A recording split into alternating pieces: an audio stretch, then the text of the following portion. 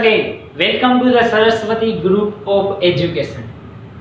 વિદ્યાર્થી મિત્રો, આપણે કેમેસ્ટ્રી સબ્જેક્ટમાં ધોરણ નવ ચેપ્ટર નંબર છ, એટલે કે પેશીઓ વિશે હાલ આપણે અભ્યાસ કરી રહ્યા છીએ આપ જાણો છો, સાવ સહેલું ચેપ્ટર છે બરાબર હવે લાસ્ટ બાળકો આપણે પેશીના ચેપ્ટરની વાત કરીએ, તો લાસ્ટ સેશનમાં આપણે સંયોજક પેશી જોઈ ગયા હતા, યાદ કરો આપણે એની વ્યાખ્યા જોઈ હતી લક્ષણ જોયા હતા. આધારક દ્રવ્ય જોયું હતું અને એના પ્રકાર વિશે પણ આપણે ચર્ચા કરી ગયા હતા. પાર્ટ 9 માં ઓકે હવે આજે બાળકો પાર્ટ 10 માં એના જે સાતે સાત પ્રકાર હતા, એમાંથી વન બાય વન એક એક પ્રકાર આપણે જોવાના છે. રુધિર, અસ્થિ કાસ્થિ અસ્થિબંધ, સ્નાયુબંધ, મેદપૂર્ણ, આધારક પેશી. આ સાત પ્રકાર આપણે જોઈ ગયા હતા. યાદ કરો લાસ્ટ લેક્ચરમાં મેં તમને એના મીનિંગ પણ લખાવી દીધા હતા. ઓકે અને એ આપણે વાત થઈ ગઈ કે હવે આપણે નેક્સ્ટ લેક્ચરમાં વન બાય વન એક એક વિશે આપણે એના પ્રકાર વિશે ડિટેલમાં જોશું.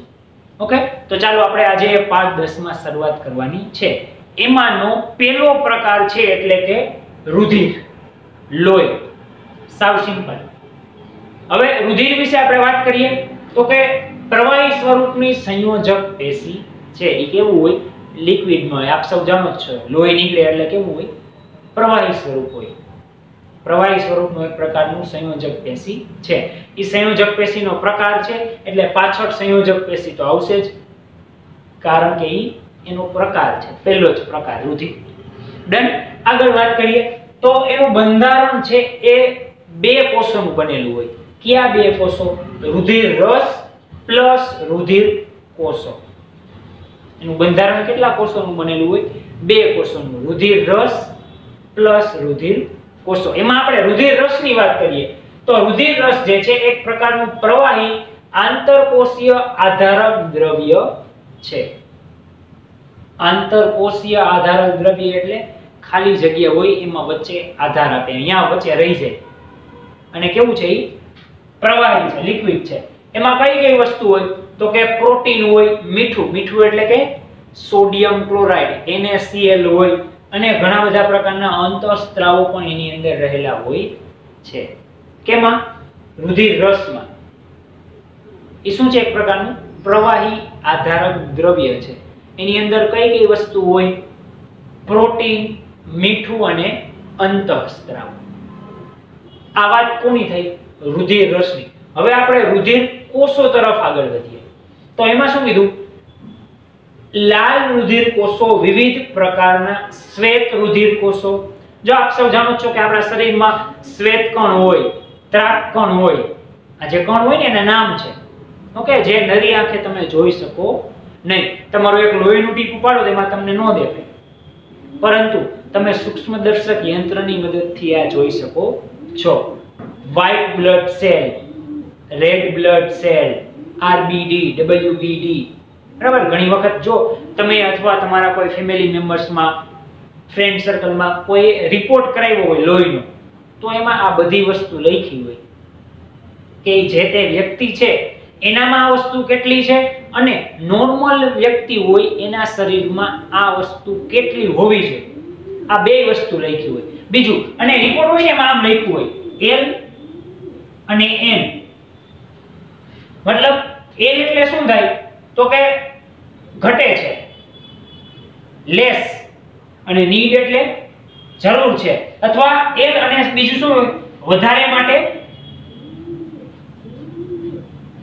હાઈ, વધારે છે. લેસ એટલે ઓછા છે. એના ઉપરથી તમને ખબર પડી જાય.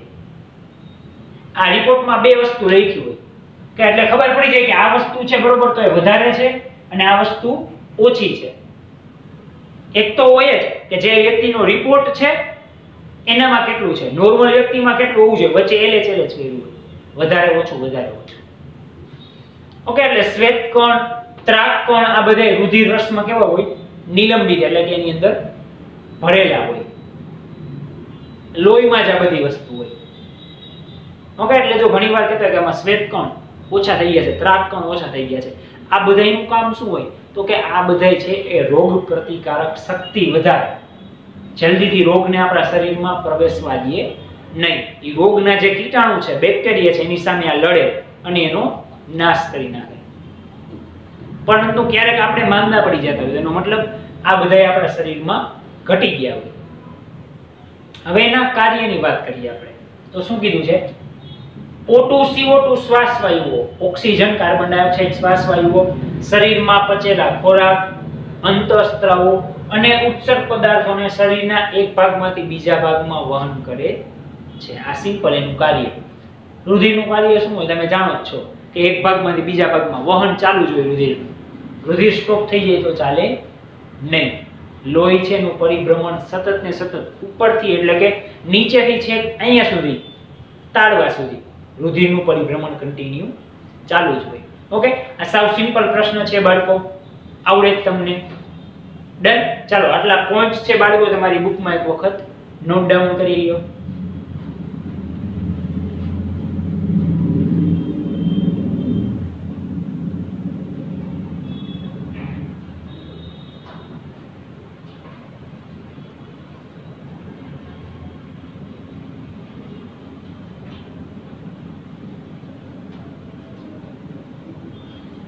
ઓકે, બાળકો, આપણે જે આપણી સંયોજક પેશીનો પહેલો પ્રકાર છે, રુધિર, એ કમ્પ્લીટ કરી ગયા, સાવ સેલો. ઓકે, એના જેવો જ બીજો સેલો પ્રકાર છે, અસ્થિ. બીજો પ્રકારનું નામ શું છે? અસ્થિ. આ પણ સાવ સેલો છે, બાળકો. તમે જાણો છો, અસ્થિ એટલે શું? એક પ્રકારના હાડકા. એને આપણે અસ્થિ કહેતા હોઈએ છીએ. હાડકા વિશે તમે બધા જાણતા જ હોય કેલ્શિયમ, ફોસ્ફરસ હોય વગેરે કે ભાઈ કેળા ખાવ કેળામાં કેલ્શિયમ હોય તો હાડકા મજબૂત થાય. આવું બધું તમે ઘણી વખત સાંભળેલું પણ હોય ક્યાંક ટીવીમાં કે એમાં. તમે જો એટલે સ્પોર્ટ્સમેન પર્સન હોય ને એ બનાના કેળાનો વધારે યુઝ કરતા હોય ફ્રૂટમાં ચાલો. શરીરના હાડપિંજરનું નિર્માણ કરી શરીરને આકાર આપતી સંયોજક પેશીને અસ્થિ કહેવામાં આવે છે. શું કે? તો કે હાડપિંજરનું નિર્માણ કરે અને આકાર આપે. તમારો શરીર, આપણું જે શરીર હોય એ આપણે ઊભા છીએ. કોઈ પણ વ્યક્તિનો આકાર છે એ અંદર શું છે? તો કે એના હાડકાને આધારે એનો આકાર છે. હાડકા ન હોય તો તો વ્યક્તિને એમ જ તમે પ્રવાહીની જેમ, જેમાં નાખો એના જેવો થઈ જાય. બરાબર? પરંતુ અંદર હાડકા છે, એના કારણે માણસ છે, વ્યક્તિ છે, એનો ચોક્કસ આકાર છે. અને હાડપિંજરનું શું કરે છે? નિર્માણ કરે છે. આગળ જોઈ, તો કે કેલ્શિયમ તથા ફોસ્ફરસના બનેલા. કેલ્શિયમની સંજ્ઞા શું થાય? બાળકો યાદ કરો. યસ, કેલ્શિયમ એટલે શું થાય? Ca. ફોસ્ફરસ એટલે શું થાય? P. આ સંજ્ઞા ખાસ યાદ રાખજો. નવમામાં પણ તમારે કામ આવશે, આગળ દસમામાં તો ખાસ કામ આવશે જ. ઓકે, એટલે સંજ્ઞા એક પછી એક યાદ રાખવાની છે. કેલ્શિયમની સંજ્ઞા Ca, ફોસ્ફરસ તો P. એમાં F નથી કરવાનું. એના બનેલા આંતરકોષીય આધારક દ્રવ્યમાં અસ્થિકોષો ગોઠવાયેલા હોય છે. તમે ઓલરેડી અહીંયા જોઈ શકો છો. એ કેના બનેલા હોય? એના અસ્થિકોષો. કેલ્શિયમ અને ફોસ્ફરસના. આથી આ પેશી કઠણ અને મજબૂત હોય છે. તમે જો, તમને ખબર જ છે. હાડકા કેવા હોય? કઠણ અને મજબૂત હોય. હાડકાને ઝડપથી કાંઈ થાય નહીં. નોર્મલ તમને લાગ્યું હોય તો એમાં હાડકું તૂટી ગયું. ઓહો. એવું ન થાય. હા, કોઈ મેજર એક્સિડન્ટ થયું, વધારે ઘા લાગી ગયો, તો હાડકું ક્રેક થઈ શકે. હાડકું તૂટી જતું હોય. ઘણી વખત આપણે પ્લાસ્ટર આવતું હોય. ઓકે તો તૂટે. વધારે બહુ મોટું એક્સિડન્ટ હોય તો. બાકી જનરલી નાની એવી વસ્તુઓમાં હાડકા તૂટતા નથી. કારણ કે એની અંદર કેલ્શિયમ અને ફોસ્ફરસ છે. આ બે શું કરે છે? તો કે હાડકાને પૂરેપૂરી મજબૂતાઈ આપે છે. એટલે કેવા હોય? કઠણ અને મજબૂત હોય. ઝડપથી એને કાંઈ થતું નથી. ઓકે હવે એના કાર્યની વાત કરીએ બાળકો, તો કે શરીરના મુખ્ય અંગોને આધાર આપે છે. મેઇન મેઇન જે અંગ છે, મોઢું, હાથ, આ પગ, બરાબર? નીચેના પગ, છાતીનો જે આ બધો ભાગ છે, આ બધા એનું શું, એને શું કરે છે? તો કે આધાર આપે છે. તેમજ સ્નાયુ પેશીને પણ જોડાણ આપે છે. સ્નાયુ પેશી એટલે શું? આ સ્નાયુ. એને શું કરે છે? જોડાણ આપે છે. બે સ્નાયુ પેશીને જોડે છે. ઓકે? સિમ્પલ એની વ્યાખ્યા છે. હાડપિંજરનું નિર્માણ કરી શરીરને આકાર આપતી સંયોજક પેશી. જો આમાં રુધિરની જેમ આવ્યું, સંયોજક પેશી. કામ? તો કે આ એક સંયોજક પેશીનો જ આ એક પ્રકાર છે. એટલે બધામાં પાછળ સંયોજક પેશી આવે છે. બીજું કંઈ નથી. ઓકે? સાવ સિમ્પલ છે. આવડે તમને. કારણ કે આ બધી વસ્તુ એવી છે. નોર્મલ લાઈફમાં આપણે ક્યાંક ને ક્યાંક આની ટચ થતા જ હોય. અને એમને મેં કોઈ વ્યક્તિને હાડકા વિશે કહ્યો તો એનું શું કાર્ય, એ શું નિર્માણ કરે, એ બધું એમને ખબર જ હોય. ઓકે સાવ સિમ્પલ વસ્તુ છે. ચાલો, આટલા પોઈન્ટ તમારી બુકમાં નોટ ડાઉન કરી લ્યો.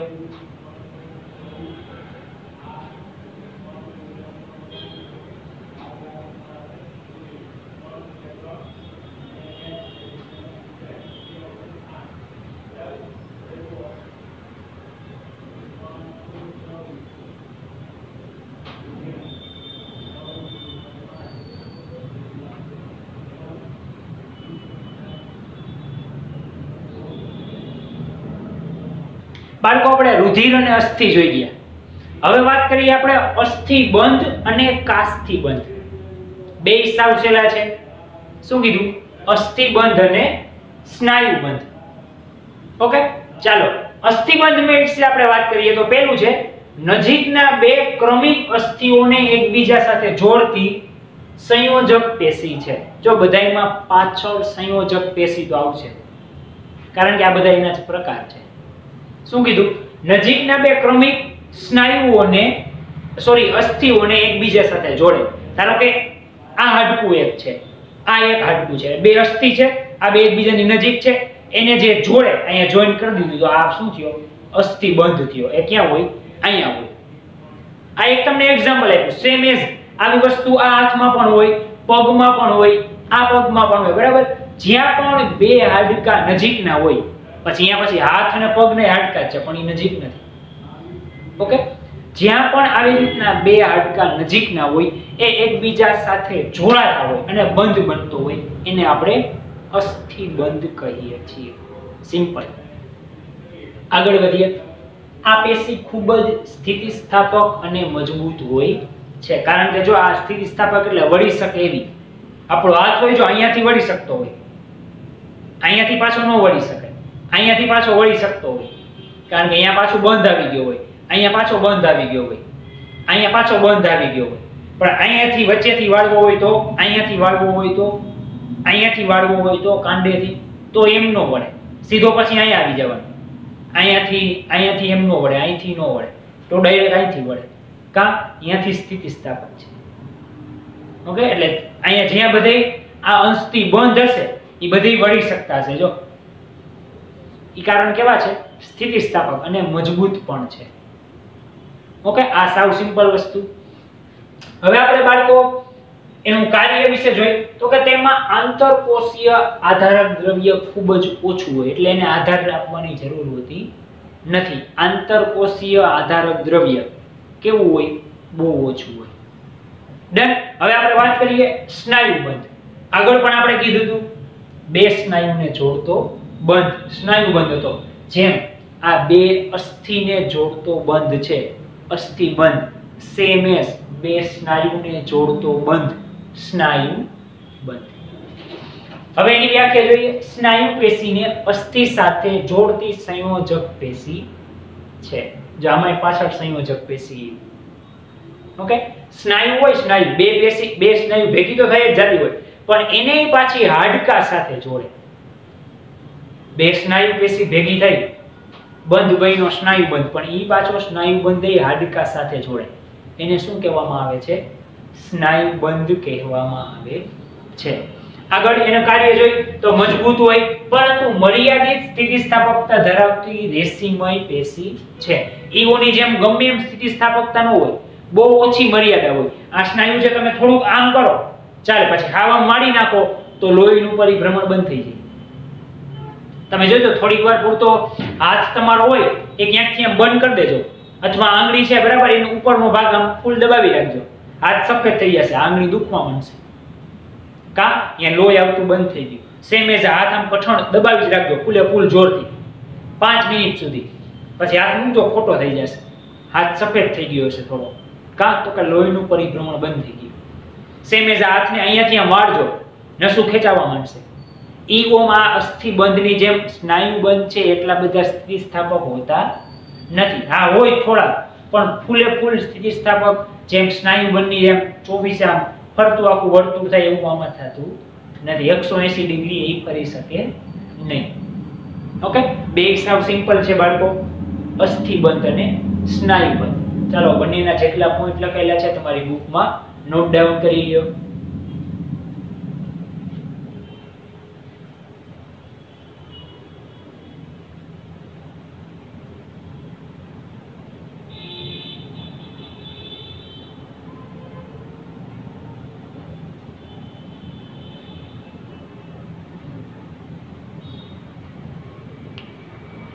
હવે બાળકો, આપણે સંયોજક પેશીના ચોથા પ્રકાર વિશે વાત કરીએ. ચોથા પ્રકારનું નામ શું છે? કાસ્થિ. હવે કાસ્થિ એટલે શું? તો કે કાસ્થિ પેશીની રચનામાં પ્રોટીન અને શર્કરાના બનેલા. શર્કરા એટલે કે ગ્લુકોઝ C6H12O6 પ્રોટીન અને શર્કરાના બનેલા આંતરકોષીય આધાર દ્રવ્યમાં કાસ્થિ કોષો છૂટા છવાયેલા ગોઠવાયેલા હોય છે. એમાં શું હોય? કાસ્થીના કોષો. એનું કામ શું હોય? લીસું બનાવવાનું. એ પણ હમણાં આગળ આવશે. ક્યાં ક્યાં હોય આ કોષો? તો કે કાન, નાક, ગળામાં અને શ્વાસનળીમાં કાસ્થીના જે કોષો હોય એ રહેલા હોય છે. જો કાન, કાનનો જે આ બારમો ભાગ છે, એ વળી શકે છે. આ બારમો ભાગ છે ને, કર્ણ પલ્લવ કહેવાય. શું કહેવાય? કર્ણ પલ્લવ. આ વળી શકે છે. શું કામ? કારણ કે એમાં કાસ્થી છે. નાક છે, વળી શકે છે. બરાબર? કારણ કે એમાં કાસ્થી છે. જ્યાં કાસ્થી હોય, ત્યાં વળી શકાતું હોય. કારણ કે સ્થિતિ સ્થાપક હોય. હમણાં એ આગળ આવશે. જો, તે જે ભાગને સ્થિતિ સ્થાપકતા આપે છે, તેથી આપણા કાનનો બાહ્ય ભાગ, આ બારમો ભાગ, એને શું કહેવાય? કર્ણો પલ્લવ પણ કહેવાય. એનું નામ સ્પેસિફિક બારમો ભાગ પણ શું? તો કે કર્ણ પલ્લવ. કર્ણ એટલે કાન. વાળી શકાય છે. કારણ કે એને સ્થિતિ સ્થાપકતા આવે છે. આ કાન આપણે વાળી શકીએ છીએ. કારણ તો કે કર્ણ પલ્લવ વળી જાય છે. શું કામ? એમાં કાસ્થીના કોષો રહેલા હોય છે અને એ કેવા હોય? સ્થિતિ સ્થાપકતા વાળા ડન સાવ સિમ્પલ કાચવત કાસ્તી એક પ્રકારની કાસ્થી કંકાલ પેશી છે એટલે તમે જે આકૃતિમાં જોઈ શકો છો કાચવત કાસ્તી પેશી. એ શું છે? એક પ્રકારની કંકાલ કંકાલ એટલે કે હાડકાવાળી પેશી છે. કાસ્તી પેશી સાંધાના ભાગે અસ્થિઓની સપાટીને લીસી બનાવે છે. જો આવ્યું કાર્ય આવ્યું એનું શું? તો કે હાડકાઓને લીસા બનાવે. આનું મેઇન કાર્ય શું? સાંધાના ભાગે જે અસ્થિ હોય ને હાડકા, એને કેવા બનાવે? લીસા બનાવે. એ કામ કોનું હોય? કાસ્થીનું હોય. ડન. સાવ સિમ્પલ આ 3 થી 4 પોઈન્ટ આપેલા છે. બધી પેશીમાં બાળકો એમ જ છે. ત્રણ, ચાર ત્રણ, ચાર સિમ્પલ પોઈન્ટ આપેલા છે. અને એમાંથી એક, બે પોઈન્ટ વિશે તો આપણે ઓલરેડી જાણકાર હોય જ. ઓકે બાળકો? તો આ પણ પોઈન્ટ તમારી બુકમાં એક વખત નોટ ડાઉન કરી લ્યો.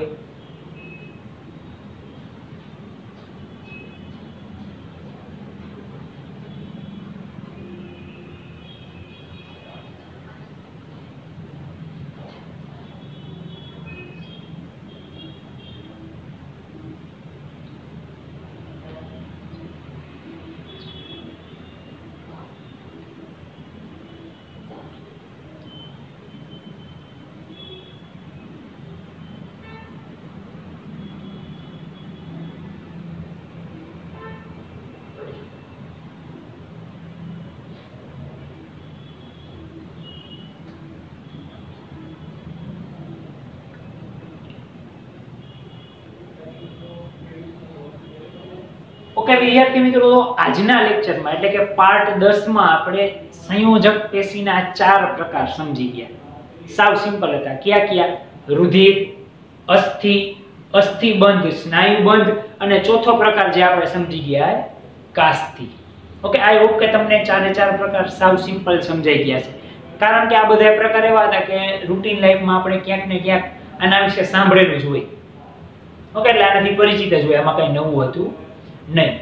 વધુ આપણે તંતુ ઘટક પેશીથી નેક્સ્ટ પાર્ટ ઇલેવનમાં મળીશું. ધન્યવાદ.